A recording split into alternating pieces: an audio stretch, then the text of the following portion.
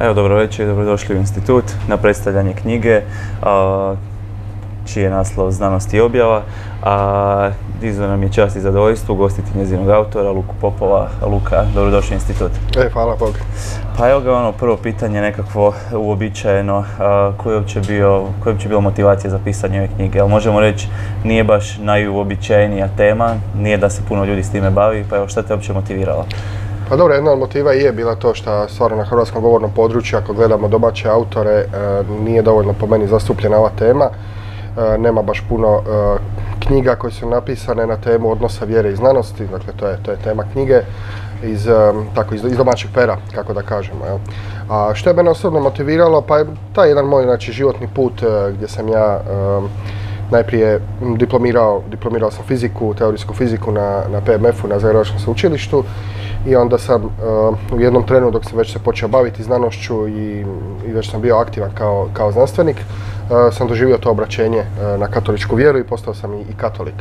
I onda me nekako prirodno počela privlačiti i zanimati ta tema odnosa, odnosa vjere i znanosti. Dakle, ja koji sam prvi bio, prvo bio znanstvenik, recimo tako, pa sam onda postao vjernik, ta tema mi je nekako bila ovaj, prirodna. I onda se tako dogodilo da sam, kako sam dosta proučavao tu temu, diskutirao s kolegama, čitao o tome, nekako pokretao sam te rasprave, dogodilo se da, da me i dio javnosti prepoznao, pa sam počeo držati javne tribine, debate, predavanja, ljudi su me zvali dakle, da svjedočim o tome kao vjernik znanstvenik i onda, i onda u tom cijelom procesu se zapravo e, je došlo do toga da sam uložio dosta i vremena i truda da, da istražim tu temu, da uđem u nekakve Um, nekakve dubine koje su me zanimale, uh, da se upoznam i sa literaturom i, sa cijelom tom problematikom i onda je na kraju s vremenom nakon evo skoro, skoro deset godina i promišljanja i skupljanja bilješki i predavanja i tribina i svega ostaloga sam nekako to odlučio objaviti u, u knjizi.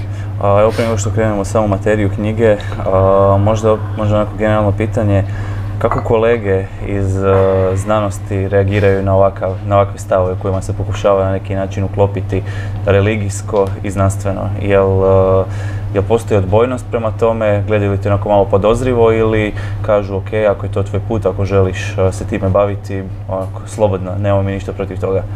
Pa znanstvena zajednica je općenito vrlo šarena, znači postoje znanstvenici koji su vjernici, E, postoje znanstvenici koji, koji su agnostici, postoje znanstvenici koji su ateisti, čak i antiteisti, tako da ja ne bi, e, ne bi radio nekakvu monolitnu e, sliku znanstvene zajednice. Dakle, naravno da postoje postoje znanstvenici koji, koji su vjernici, koji podržavaju ovakvo nastojanje, koji vrlo intenzivno promišljaju o tome, to govorim i na domaćoj sceni i na međunarodnoj sceni, a postoje znanstvenici poput ovih takozvanih novih ateista, Dovkinsa i tako dalje, koji, koji idu toliko daleko da smatraju da je jedan od zadaća znanosti zapravo i znanstvenika promovirati ateizam i promovirati materialistički pogled na svijet.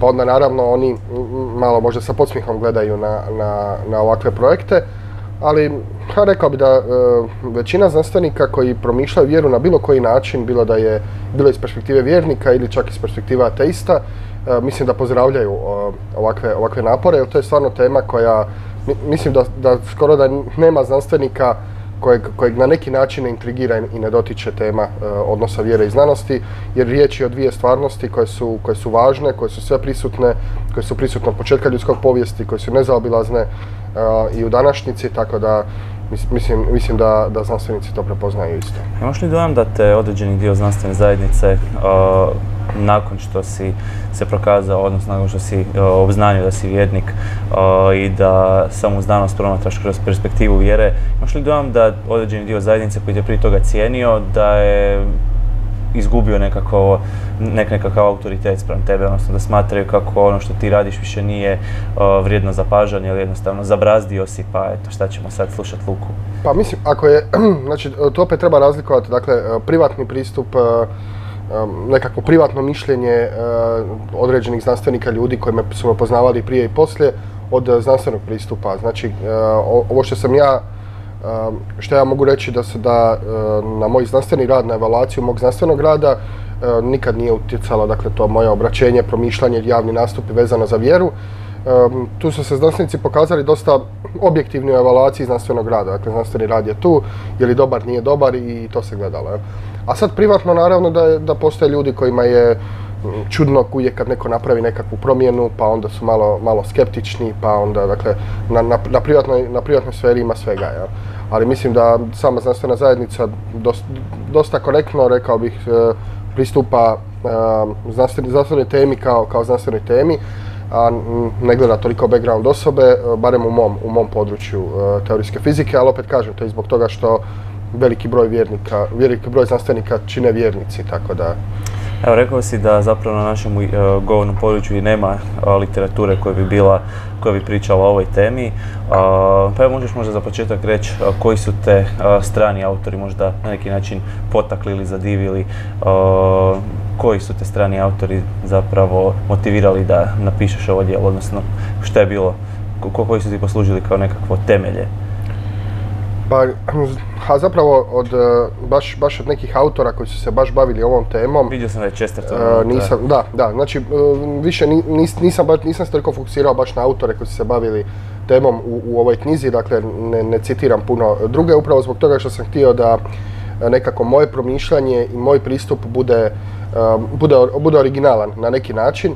E, tako da mm, izbjegavao sam i kad su me pozivali na te na tribine, na predavanja i tako dalje, izbjegavao sam to da uzmem uh, nečiju tuđu knjigu, pročitam i onda je prepričavam na predavanju. Dakle, pokušao sam ići na izvore i onda iz izvora zapravo zaključiti neke, neke stvari ono, samostalno i dati neke originalne misli. Tako da autori na, na kojima ja temeljim ova svoja promišljanja su prvenstveno dakle, u filozofiji znanosti, to su Thomas Kuhn i Karl Popper, E, kao glasoviti filozofi znanosti.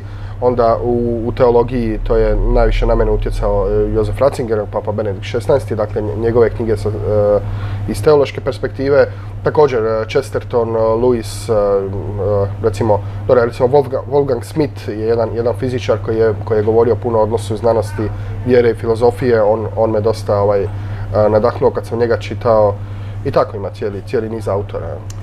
Pa isto tako rekao si da nema toliko literature na hrvatskom.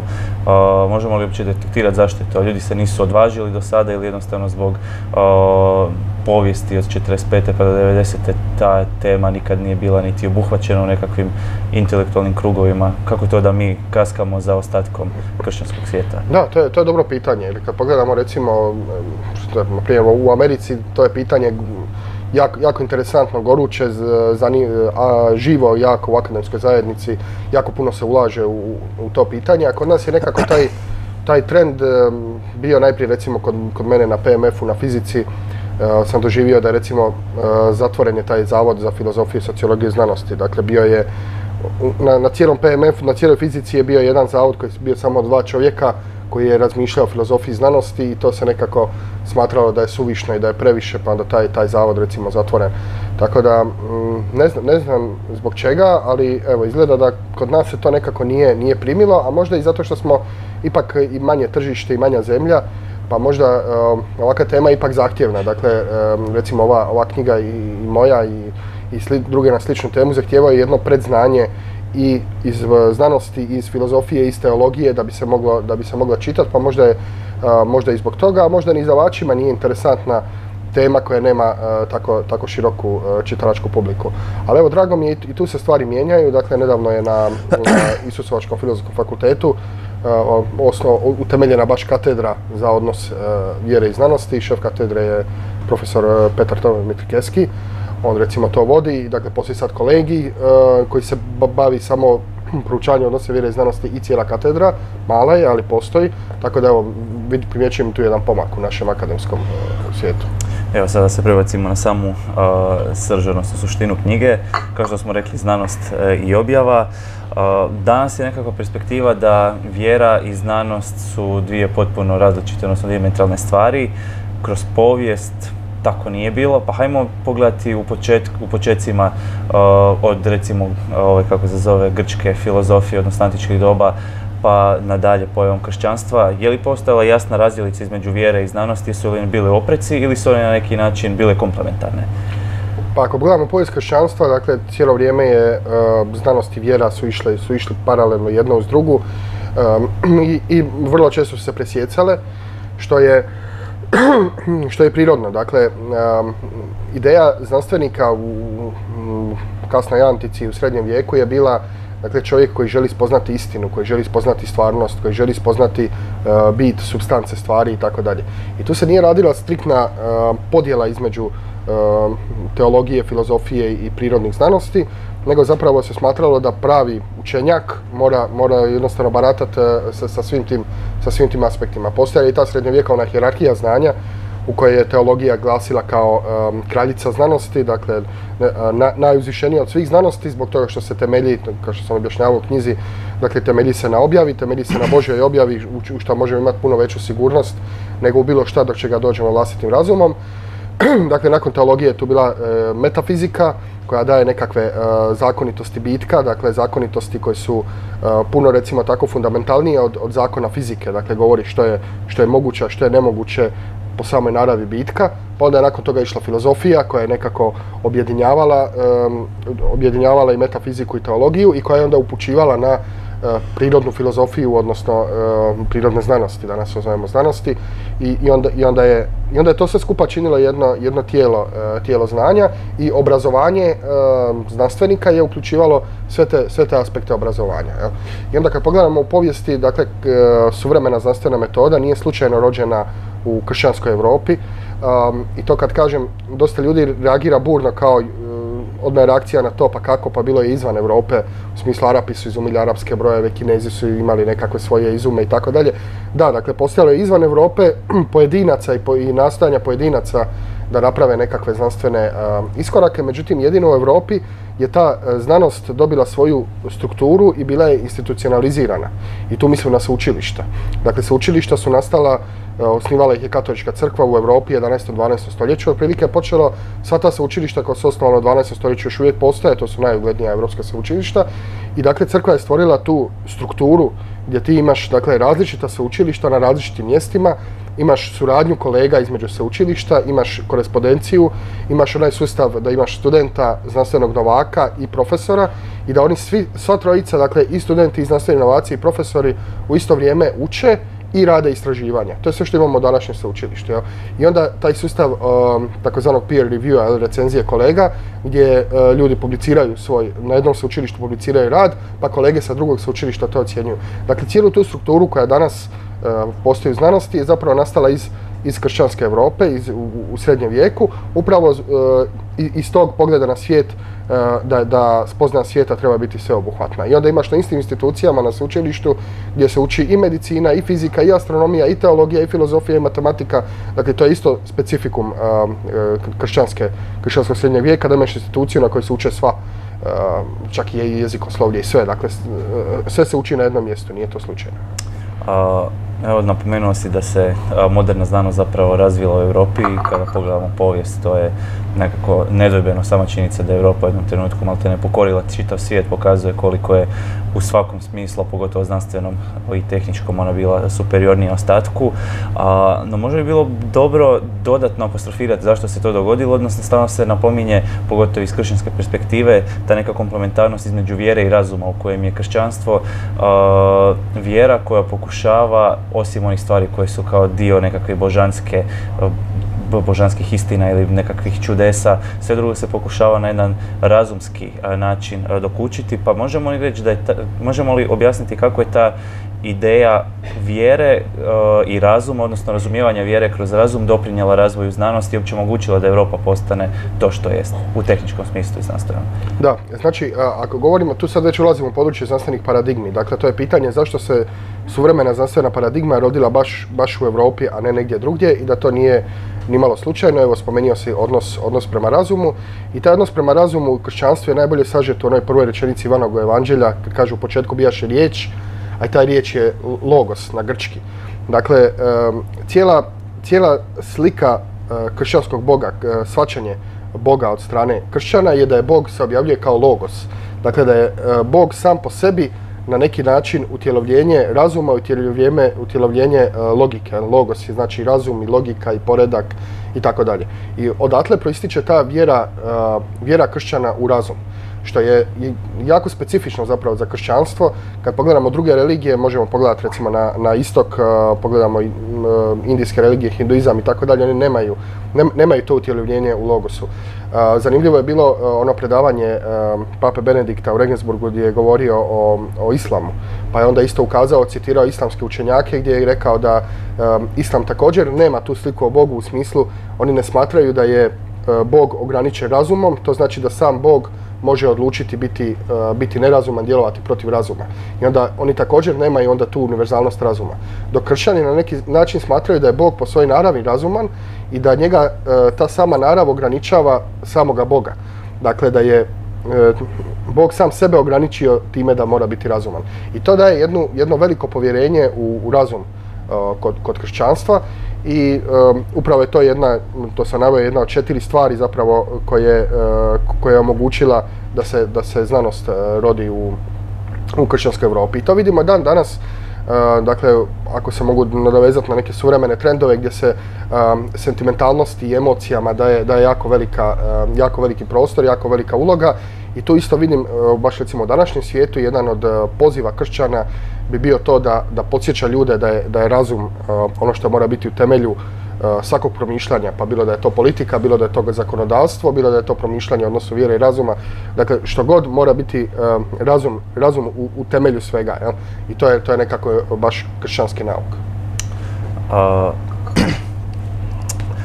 rekao si da, je, da su vjera i razum, odnosno na neki način kršćanstvo i znanost idu ruku pod ruku, ali imamo u povijesti dosta ovih, pa možda zapravo ajde krenemo prvo, o, prije nego krenemo neke partikularne primjere, možda bi bilo dobro detektirati moment u kojemu zapravo dolazi do odvajanja između vjere i razuma, odnosno u kojem trenutku povijesti se počinje smatrati da vjera i znanost jednostavno su dvije različite stvari da ne mogu ići ruku pod ruku.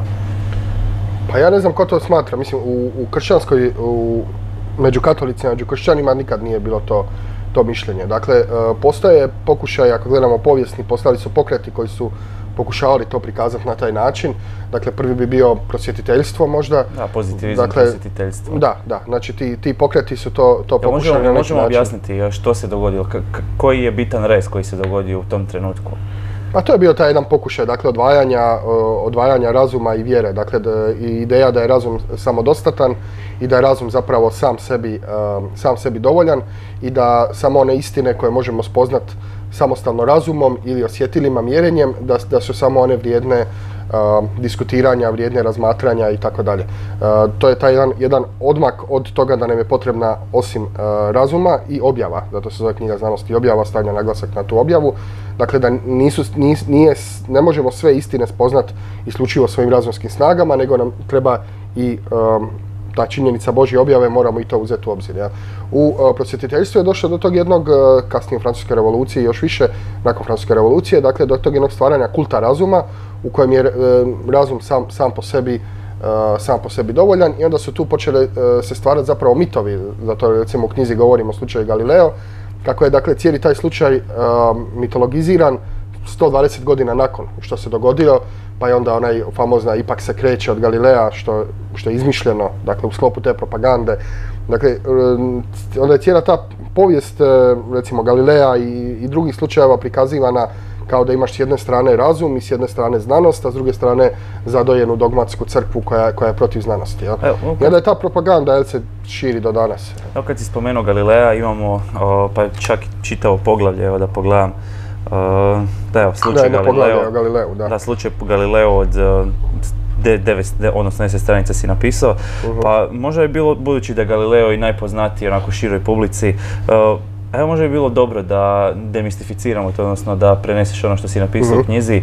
Rekao si da je na neki način mitologizirana priča, da, da je ispričana na pogrešan način, pa evo možeš onda reći iz perspektive onoga što si ti napisao kako ona zapravo izgleda i gdje se nalazi mit, gdje se on sukobljava sa stvarnošću, šta je zapravo slučaj Galileo. Da, pa mogu, mogu vrlo kratko jer da, da ne uzmemo to bi, to bi se dalo jako puno o tome pričati, ali znači Um, ono, ono što je činjenica za Galilea, dakle, on, on je uh, on je ušao u taj nekakav um, di, dijalog sa crkvom u trenutku nakon što je Kopernik uh, objavio svoje, svoje dijelo o heliocentrizmu. Dakle, do tada je bila običajna znanstvena paradigma da, da um, zemlja miruje da se sunce giba oko zemlje. Kopernik je postavio uh, sustav drugačije, da sunce miruje da se zemlja giba oko sunca i Galileu se jako svidjela, uh, svidjela ta ideja i on je to pokušavao dokazati e, znanstvenim, znanstvenim putem i nije uspio, dakle to je, to je prva stvar.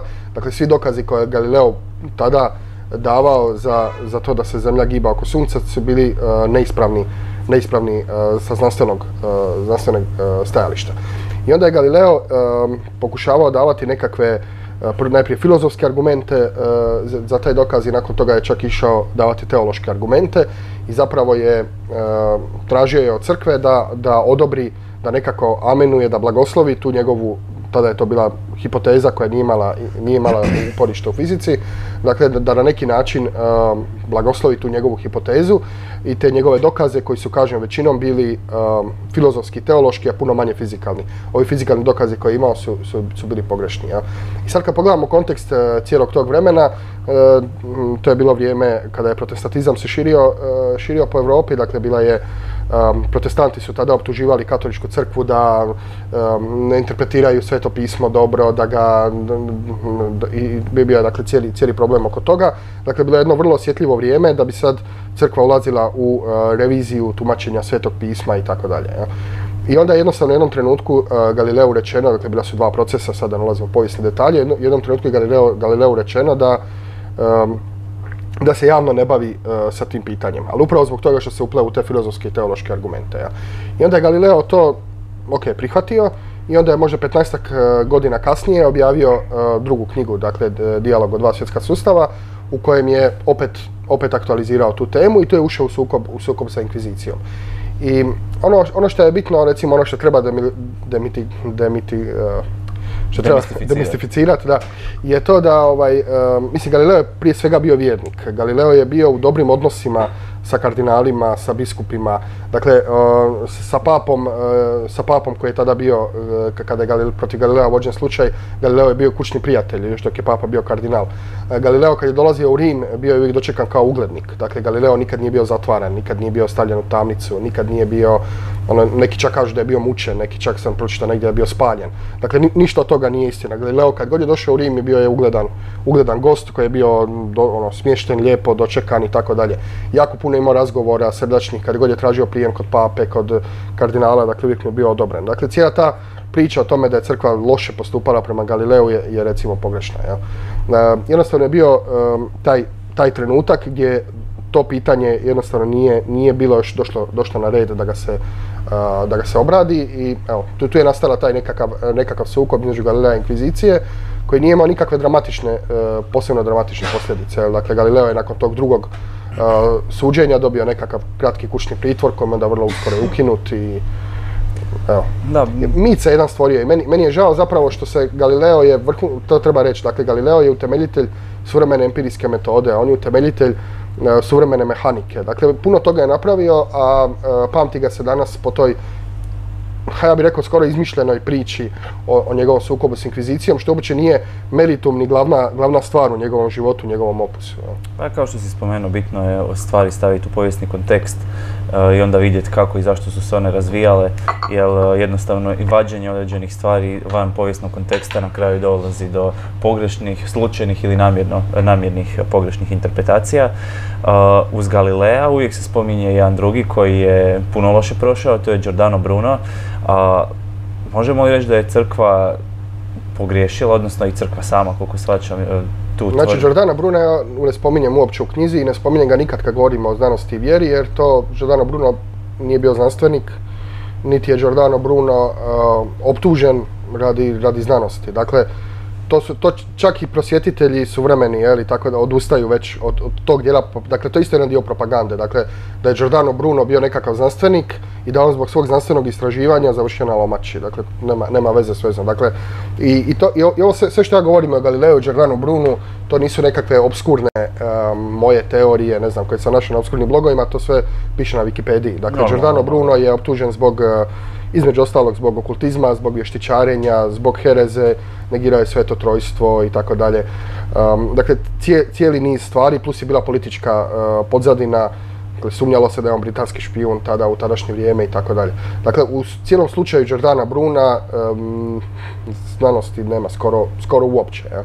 Tako da uh, njega uopće ne, ono, uopće ako govorimo o odnosu vjere i znanosti, Giordano Bruno uopće nema mjesta u toj priči. A onda stvar je u tome što se on postavlja kao nekakav paradigmatski primjer lošeg odnosa crkve prema vjeri, pa evo zbog toga sam o Bože, crkve prema znanosti. Pa Mislim, on bi mogao biti loš primjer odnosa crkve prema, ne znam, hereticima, prema okultistima, prema špijunima, a, ne prema, prema znanstvenicima. Ne, ne vidim njegov, njegov znanstveni opus. Evo sada kada smo se dotakli otprilike toga razdoblja, početak prosjetiteljstva, čitao sam prije više od desetak godina knjigu od Erasma Rotterdamskog pohvala ludosti, koje mhm. zapravo na neki način se apostrofira kao prva knjiga, odnosno, a da recimo prva knjiga koja je pokušala na neki način ukazati na određene probleme koje postoje u društvu i tu pred tog prevelikog upliva crkve u sve društvene sfere, pa tako i znanosti. Sjećam se dođenog citatu kojem on kaže sve je to dobro i crkva je puno doprinjela, ali u jednom trenutku se počelo pretjerivati. I onda kaže, kada svećenike pitaš koliko magarac ima zubiju, oni neće doći do magarca i pogledati mu u čeljosti, nego će vaditi uh, Aristotela, pa će neko vaditi svetog pismo, pa će se neko pozivati na to Akvinskog i kaže, zapletemo se u koloplet nečega što na kraju dana uh, nema veze sa nekakvom zdravom logikom ili nekakvom, ili možda ide na nekakvoj teološkoj razini se može potkrijepiti, ali u praksi ne funkcionira.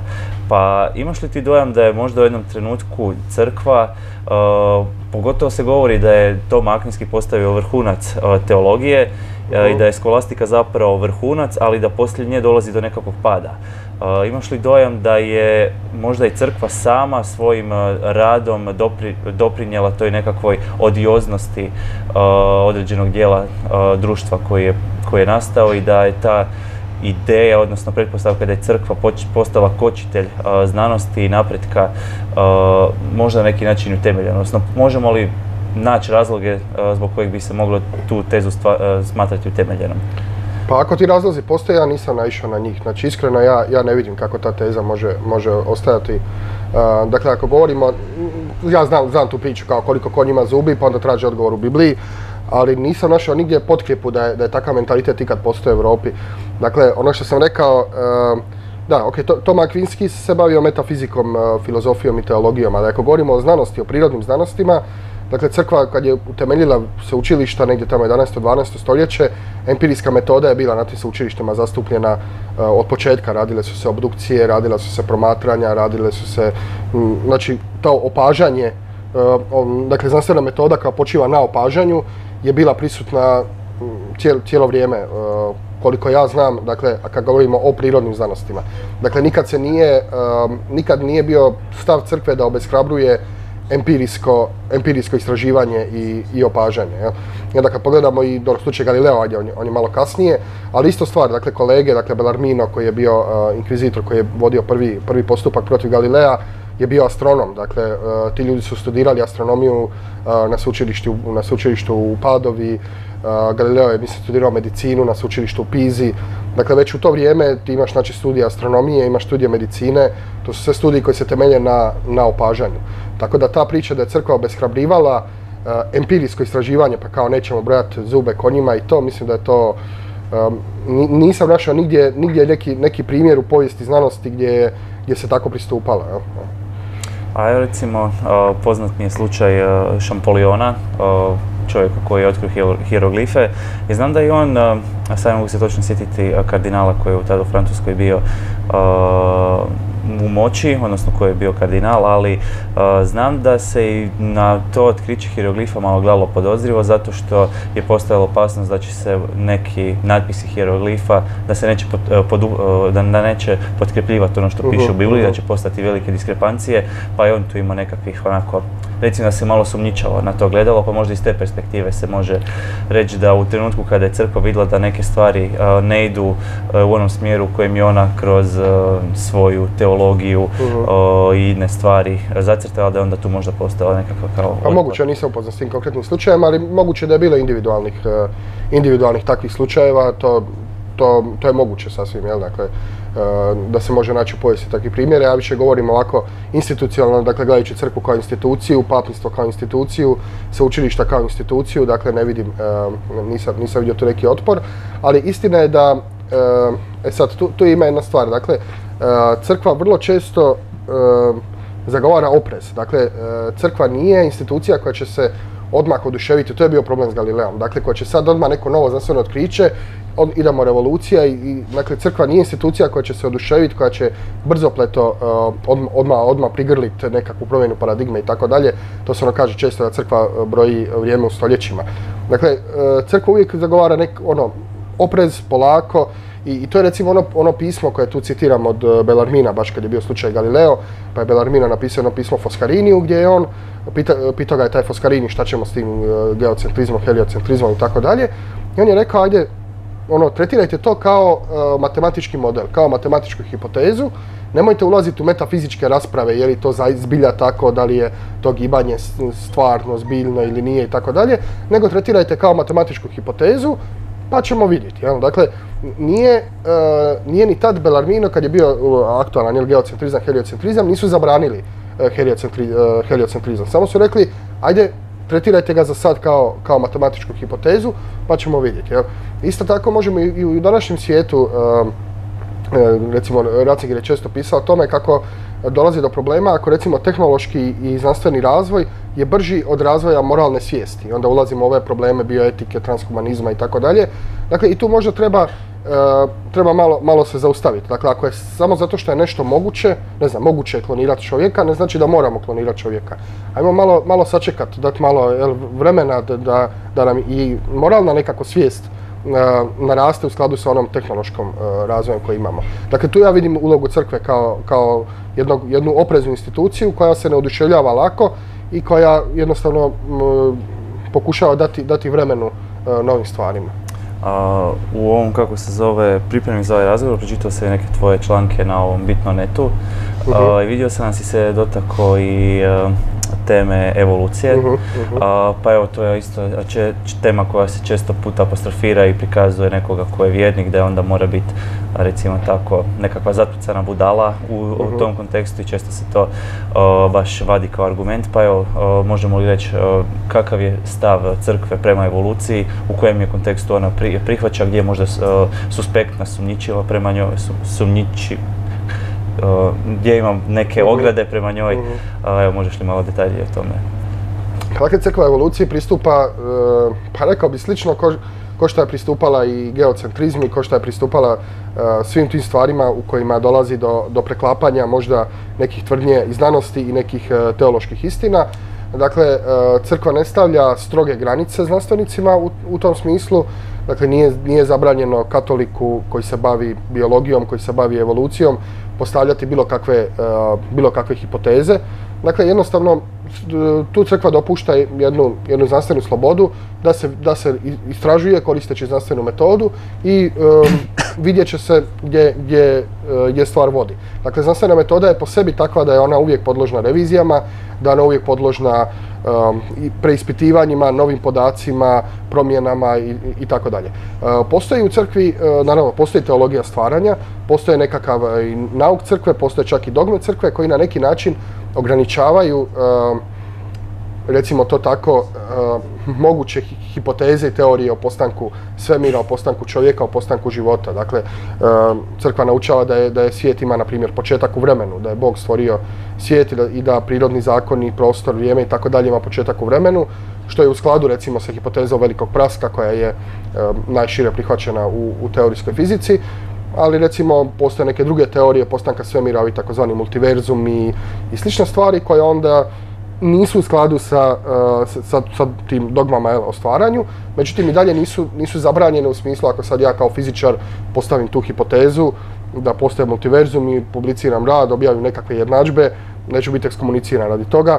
Dakle, crkva dozvoljava to istraživanje jer vjeruje da u konačnici i, i objava i znanost imaju istog autora. Dakle, Bog koji je stvorio svemir, koji je stvorio svijet i Bog koji se objavio je isti Bog, ne može sam sebi proturječiti. Dakle, treba, treba dozvoliti znanstveno istraživanje i vidjet će se šta će se tu dogoditi. po pitanju evolucije, možda najškakljivija tema je Adama i Eve, jer znamo da je Papa Pio XII, to je zadnji put kada je crkva na, recimo tako, vrlo visokim autoritetom progovorila o pitanju poligenizma i monogenizma. Dakle, monogenizam kaže da je cijeli ljudski rod potekao od jednog para roditelja, dakle od Adama i Eve, dok poligenizam tvrdi da mi imamo, da ljudski rod ima, ne znam, više, više, više predaka, ne samo dvoje. I tu je Papa Pio XII rekao da katolici nemaju slobodu prihvaćati poligenizam, odnosno potvrdio je doktrinu o istočnom grijehu i doktrinu od toga da postoje jedan pa, par praroditelja od kojih baštinimo istočni grijeh i tako dalje. Dakle, to teološko objašnjenje. I sad recimo to neke znanstvenike žulja, jer kao, jer po, nekim kako bi rekao, po nekim hipotezama koje proizlaze iz teorije evolucije, čini se da nije moguće da mi imamo samo dva para da imamo samo dvoje, predaka, ali opet po nekim drugim hipotezama unutar isto teorije evolucije se čini da je to moguće i tako dalje. I zbog toga, kažem, crkva dozvoljava tu istraživanje, a onda će se vidjeti što će na kraju ispasti svega. Možda, možda bi bilo ovdje dobro samo, uh, onako čisto radi publike napomenuti da mi ovdje govorimo o katoličkoj crkvi, kod protestanata postoji puno denominacija koje uh, onako dosta striktno i recimo strogo gledaju taj, uh, tu ideju stvaranja evolucije, onako strogo se navodi koliko, u kojem trenutku, koliko godina postoji zemlja, tako da ako neko naiđe na ove teze da zemlja postoji koliko 5000 godina i tako nešto, da, znači, treba znati da, to, da je to u kontekstu protestantizma. Da, znači tu kod protestantizma da ima jako puno denominacija. dakle, e, neke denominacije smatraju također da je to pitanje otvoreno, dakle prepuštaju ga slobodi. neke denominacije jako inzistiraju, pogotovo u Americi je to, dakle neke denominacije jako inzistiraju na tome da je svijet star 6000 godina i da je, stvoren prije 6000 godina i da, mm, da nije bilo evolucije i, tako dalje. ok, u katoličkoj crkvi postoje, postoje ti, oni to zovu kreacionisti mlade zemlje, dakle postoje katolici, postoje katolički znanstvenici, oni su u manjini, ali postoje, postoje katoličke udruge, postoje katolički instituti koji zagovaraju također taj, tu paradigmu, dakle da je zemlja stvorena prije nekoliko tisuća godina u, u, stanju, u stanju zrelosti, Dakle, oni kažu da je to slično kao što je kad je Isus pretvorio na svadbi u kani vino, pa dakle, on je, vino je nastalo momentalno, ali to vino izgledalo staro. Tako oni tvrde da je Bog stvorio svemir koji izgleda star jer je stvoren u dovršenom stanju, jer je zapravo stvoren prije par tisuća godina i onda, dakle, ta paradigma podrazumijeva postojanje ovog globalnog, globalnog potopa u dane proroka Noe i onda se pokušavaju na taj način objašnjavati i geološke formacije i neke stvari u biologiji i tako dalje. Meni je osobno to zanimljivo, dakle ja, ja sam upoznat sam dosta sa tom literaturom um, tih kreacionista mlade zemlje young earth, young earth creationist kako kažu na engleskom i dosta mi je zanimljivo jer mislim da je uvijek dobro, oni jesu u manjini, ali tu postoji ozbiljni znanstvenici koji daju ozbiljne kritike um, ovoj suvremenoj paradigmi, dakle i, i kozmogoniji, i geologiji, i biologiji iz te svoje, svoje perspektive. I mislim da to također obogaćuje i znanstvenu zajednicu, i znanstveni dijalog, i teologiju, tako da ja, ja ne bi čak na to gledao sa podsmihom. To je jedna legitimna paradigma koja je trenutno u, u velikoj manjini, ali mislim bolje da ima nego da nema. Da, apsolutno se slažem. Uh, uvijek je najgore ograničavati nečije mišljenje ili uh, pokušavati uh, a priori nešto otpisati kao potpuno suludo. Ako neko smatra nešto, neka to pokuša dokazati, pa evo, ako uspije, svaka mu čast. Ako, ako ne uspije, opet će u tom postupku dokazivanja će ukazati na, će potaknuti neke druge i ukazat će možda na neke greške i propuste, što će opet obogatiti kasnije Evo u jednom trenutku si spomenuo ovaj, bioetiku. rekao si da znanost pomalo, da znanost zapravo trči puno bržim korakom nego što je slijedi ljudski moral, odnosno nego, što je čovjek u nekoj svojoj punini slijedi. bioetika kao nekakva ideja spajanja moralnog, etičnog, na neki način teološkog sa znanstvenim je danas dosta popularna i jako bitna.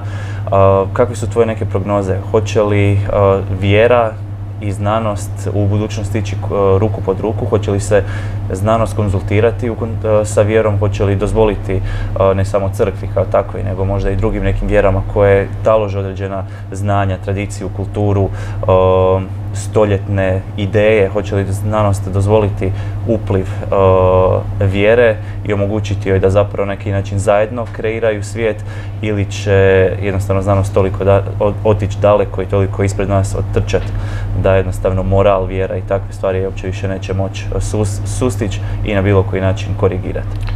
Pa mislim da to jako, jako puno ovisi, teško to sad predvidjeti i, i reći šta će biti, ali mislim da odgovor na to pitanje jako puno ovisi o, o kulturi i zapravo o tome što je općenito u kulturi prihvaćeno kao dobro i ispravno, a, a što nije. I tu naravno da religija ima svoju veliku, a, veliku ulogu. Jer na kraju krajeva, dakle, ako govorimo o bioetici, ako govorimo o e, na nekom način ograničavanju onoga što možemo napraviti, ali možda ne bismo smjeli napraviti, onda tu već ulazimo i u područje politike. Dakle, um, pitanje je, ne znam, hoćemo li klonirati čovjeka, uh, ovisi o politici, hoće li se donijeti zakon koji to omogućava ili ne. A onda opet političare biraju ljudi, a opet je dakle bitno na, na koji način su, koliko su ti ljudi koji biraju političare uh, osviješteni o, o, o tim nekim uh, bioetičkim pitanjima i mislim da tu crkva ima jako veliko poslanje i crkva institucionalna i, i kršćani, dakle mi kao laici, u svim područjima djelovanja gdje god se nalazimo. Dakle, to je jedno naše poslanje da pokušavamo širiti tu nek, nekakvu, nekakvu svijest o univerzalnom moralu, o tome da moralni zakoni nisu nešto što je stvar konsenzusa, da postoji što pisao u knjizi o tome jedna, jedno poglavlje, dakle da postoji moralna nešto se zove moralna struktura svemira, da, da, je, da su te stvari zadane, da su te stvari e, spoznatljive naravnim putem, ali i kroz objavu. Dakle, nije, nije e, spoznaja moralnog e, i naravnog zakona nije samo kroz objavu, nego dakle, može se i naravnim putem. Objava da kako pomaže, zato što razum može, može često zastraniti. Ja. Dakle, mislim da je tu jednostavno uloga i crkve i svih nas da da radimo na toj, na toj kulturi.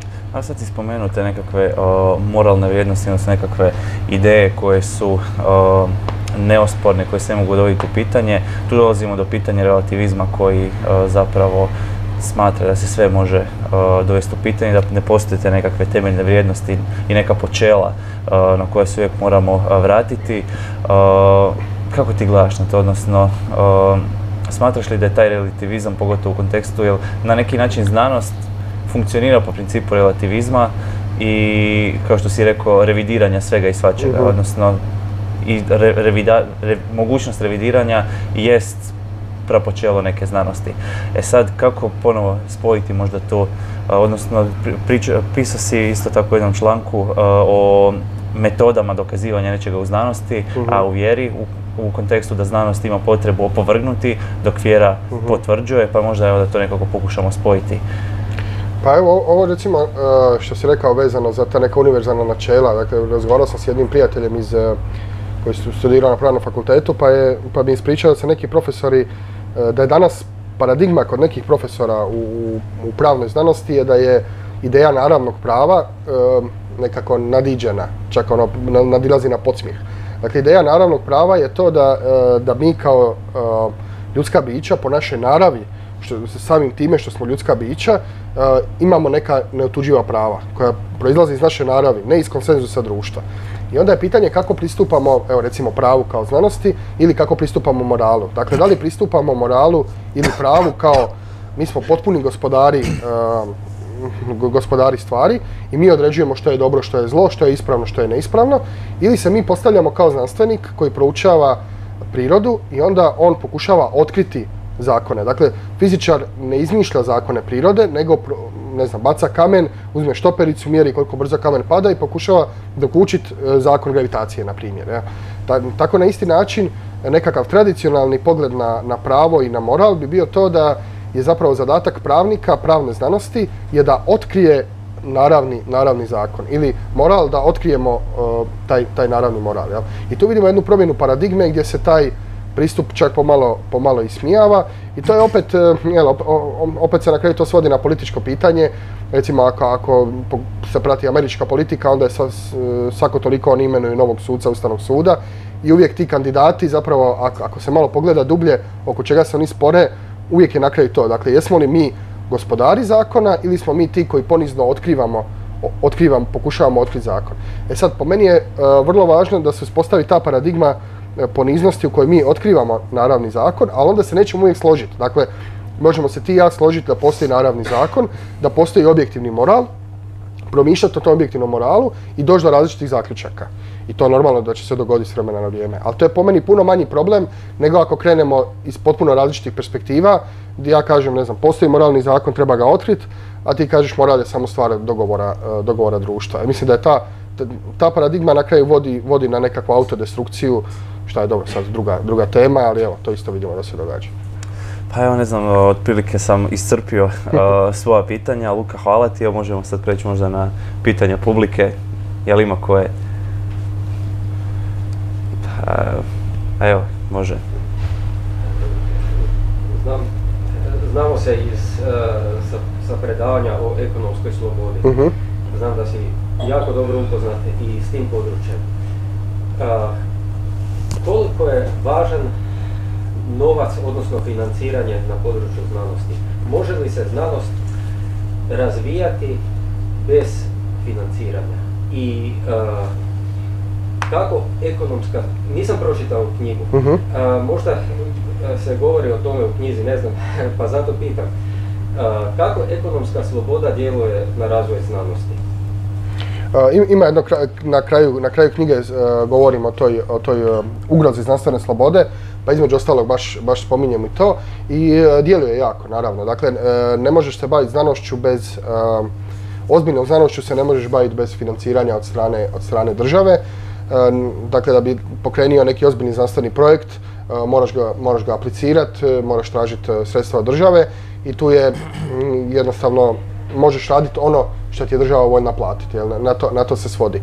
Dakle, suvremena znanstvena istraživanja, dakle, znanost je došla na, na, na toliko visoku razinu da je svako uh, empirijsko suvremeno znanstveno istraživanje izuzetno skupo.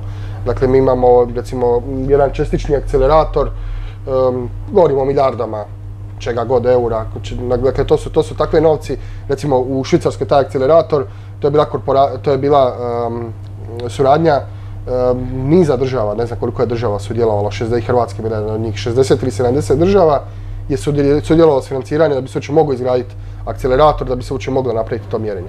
Tako da u velikoj mjeri, mjeri to ovisi. Um, to je povezano i s ovim pitanjem za evoluciju. Uh, ja sam držao sa neka predavanja o tome, evo to bi možda bila jedna, jedna knjiga koju bih htio napisati možda nakon ove, dakle zato nisam ulazio uh, u, u, tu temu toliko u ovoj knjizi, uh, htio bih još malo dublje o tome promisliti, ali recimo tu postoji taj problem što uh, recimo ta uh, paradigma uh, evolucionizma se financira od strane, strane države, dok recimo znanstveno istraživanje u nekoj paradigmi koja bi bila skeptična prema evolucije se ne financira od strane države. I onda, normalno da ako ti u jednoj paradigmi imaš uh, stotine i tisuće znanstvenih novaka, profesora, laboratorijske opreme i tako dalje, a s druge strane, recimo ako gledaš američke kreacioniste, oni imaju nekakve svoje institute koji žive od donacija, e, gdje imaš desetak možda ljudi koji se s tim bavi, jer ne možeš imati više na plaći od donacija, onda normalno da, da, da, to, da to utječe i na kvalitetu argumenta, jer ovi jednostavno nemaju niti ljudi, niti novaca za raditi istraživanja ko, što imaju ovi drugi. Jel? Tako da, je, ta e ekonomska, ekonomska dimenzija u razvoju znanosti je prilično nezanemariva.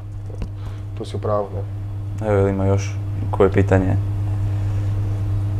Evo, ako nema, evo, zahvalit ću vam na dolasku. Isto tako hvala tebi, Luka, što si došao, što e, smo pričali o tvojoj knjizi, znanosti, objavi, spoju znanosti i vjere.